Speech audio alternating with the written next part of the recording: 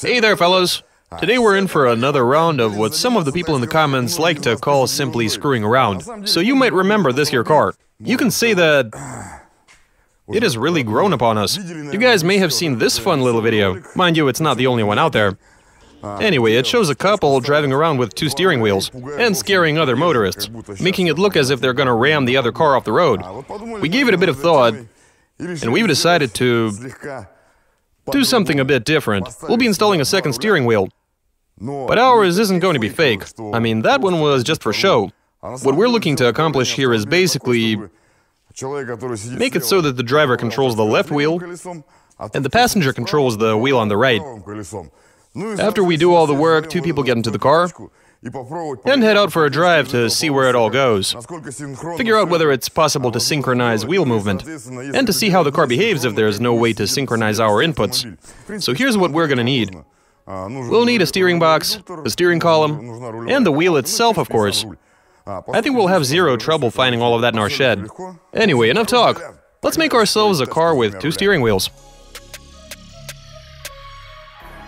How do you drive a car with two steering wheels? Translation and voiceover by BMI Russian.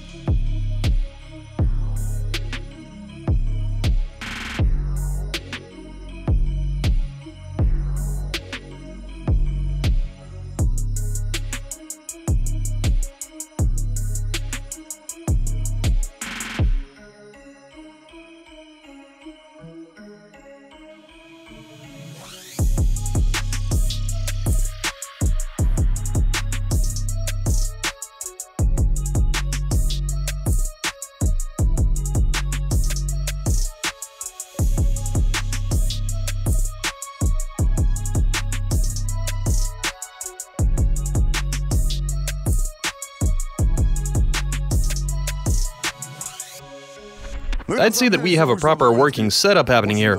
That actually wasn't that hard. So we've installed a second steering box, which we've borrowed from a Volga. It sits on the other side of the frame rail, so it was quite easy to fit on this side of the car. That's connected to a Lada steering column, and as for fitment, well, I have to say that it all came together just beautifully. We've cut and welded the steering arms a tiny bit. That was a pretty simple thing to accomplish. There's absolutely nothing hard in that. Anyway, so this machine is now ready for some action. I say we head out for the test track and see how she do. Let's do this.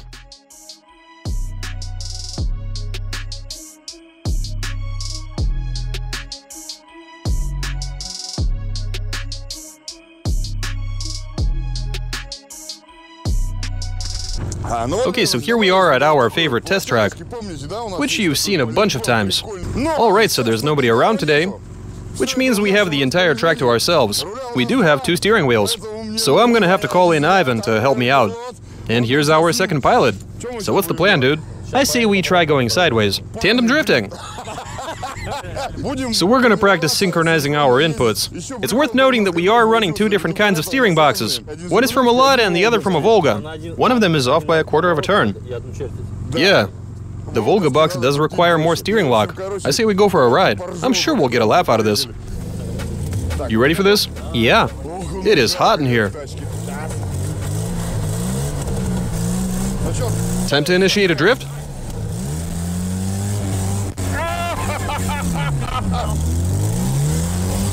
Come on now. Where are we going? Whatever, let's just do this. Let's not overcook it this time.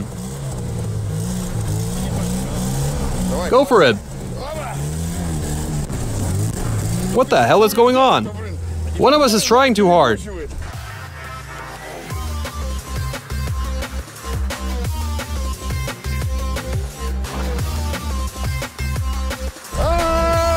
It is very slippery. Very slippery indeed. Go ahead. Now we're talking. This actually seems to be working.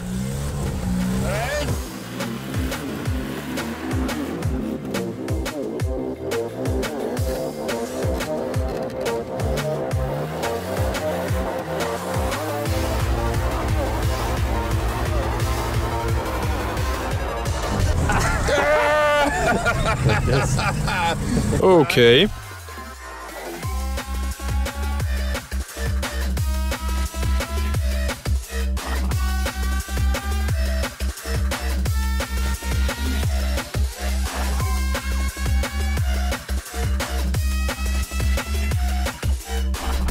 We're not exactly good at this. We can't quite get this to work. I suggest we get up to speed on the straight. Then try steering in opposite directions. Just turn the wheels and see what happens. Let's do it. That should be pretty hilarious.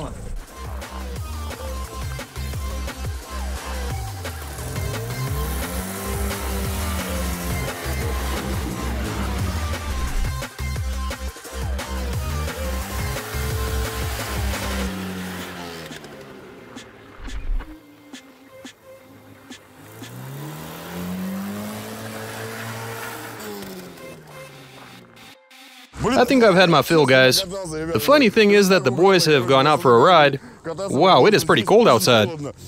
Anyway, when you work that steering wheel, it reminds you of competitive driving, where after even a couple of laps, you're all soaking wet. It's pretty much the same story here. Let's see how the boys do.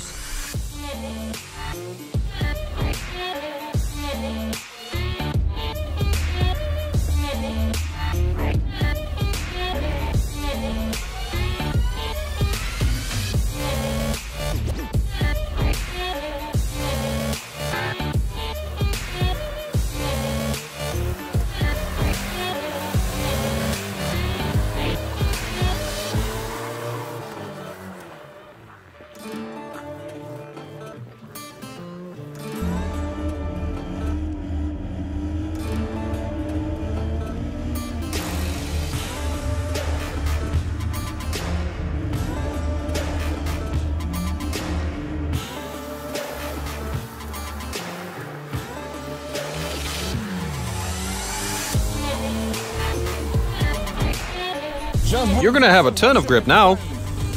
Let's do this.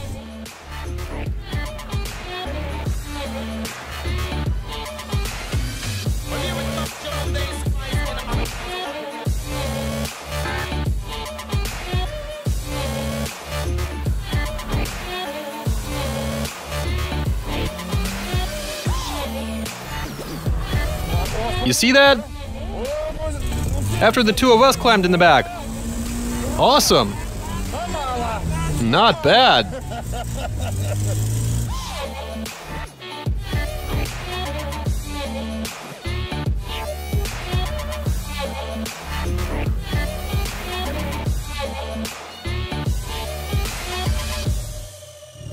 Alright, so we've driven around and had some fun. What do you think, Ivan? That was pretty hilarious, right?